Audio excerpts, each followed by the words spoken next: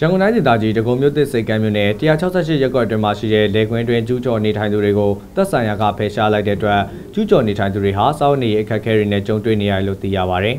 ။အဆိုပါကျူးကျော်နေအိမ်တွေကိုဇန်နဝါရီလ30ရက်နေ့မနက်အစောပိုင်းကသက်ဆိုင်ရာကဖယ်ရှားလိုက်တာကြောင့်ကျူးကျော်နေထိုင်သူတွေဟာလေကွင်းတွေအနီးမှာယာယီတဲထိုးပြီးနေထိုင်နေရပြီးစားဝတ်နေရေးအခက်အခဲတွေဖြစ်ပေါ်နေတယ်လို့ဖယ်ရှားခံရသူတွေကပြောပါဗျ။ ကျူးကျော်နေထိုင်သူတူဖြစ်တဲ့ဦးတင်လာကဘဝတူတွေအားလုံးနေစရာမရှိတော့တဲ့အတွက်လေကွင်းသားမှာပဲဖြစ်တယ်လို့ယာယီတဲတွေထိုးပြီးနေနေရကလောလောဆယ်နေထိုင်နေသူ200ကျော်ရှိတယ်လို့ဆိုပါတယ်။ကလေးတွေလည်းရှိနေတဲ့အတွက်စားဝတ်နေရေးအခက်အခဲတွေဖြစ်နေတယ်လို့လည်းဦးတင်လာကဆက်လက်ပြောပါတယ်။အဆိုပါမြေနေရာမှာရန်ကုန်တိုင်းဒေသကြီးဆိုရကကြီးစုဆက်မှုစုံဖော်ဆောင်မှာဖြစ်ပြီးဆက်မှုစုံဧရိယာနယ်မြေတွင်းမှာရှိတဲ့မူလာလက်ငုပ်တောင်သူ19ဦးကိုအစိုးရဖွဲ့ကဂရုဏာကြီးတွေပေးအပ်ခဲ့တယ်လို့သိရပါဗျ။ ကျူးကျော်တဲတွေကိုမြေယာအပ်ဥပဒေစီပင်အပ်ဥပဒေတို့နဲ့ပြောင်းရွှေ့ပေးဖို့အတိပေးစာတွေပေးပို့ထားတယ်လို့မြို့နယ်ထွေထွေအုပ်ချုပ်ရေးဦးစီးဌာနကထုတ်ပြန်ထားတဲ့ဒေသန္တရအမိန့်အရသိရပါဗျ။